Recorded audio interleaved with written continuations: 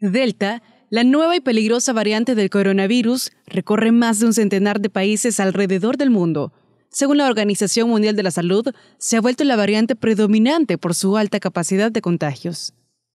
El virus va evolucionando, ¿verdad? Entonces es como que si el virus eh, se fuera cambiando de, vestido y cada vestido que se va poniendo eh, lo protege más y lo habilita más para ir contaminando o contagiando en una forma más efectiva y eficiente a su huésped, que en este caso somos nosotros. Científicos de Reino Unido han demostrado que es 100% más contagiosa que el virus original que surgió en Wuhan, China, en 2019. Los síntomas también han cambiado. Según los expertos, los vinculados a Delta son secreción nasal, catarro y enrojecimiento en los ojos, mientras que con la versión original predominan diarrea, dolor de cuerpo, dolor de cabeza y pérdida de olfato y gusto. Tiene una tendencia eh, mayor a hospitalización y una tendencia mayor a muerte. La diferencia no es mucha con la variante original, pero sí hay un aumento de la virulencia en personas no vacunadas.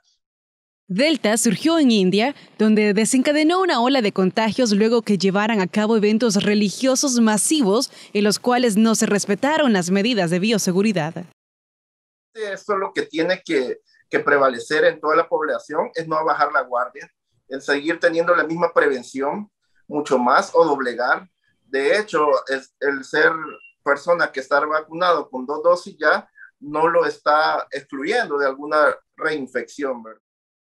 El ministro de Salud, Francisco Alaví, asegura que en El Salvador los estudios aún no han demostrado que hayan personas infectadas por dicha variable, pero eso no descarta las posibilidades de que Delta ya circule por el territorio.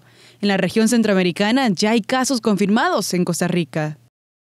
Por el momento no, se tiene comprobada en evidencia, o sea, en, los estudios de secuenciación de RNA no se tiene, pero eso no quiere decir que, no puede estar. Entonces debemos de ser muy cautos y cumplir todas las medidas de protección y sobre todo seguir eh, de alguna manera avanzando en la inmunización.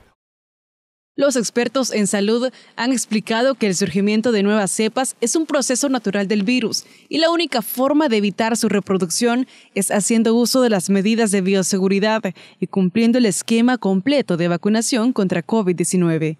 Abigail Castro, TCS Noticias.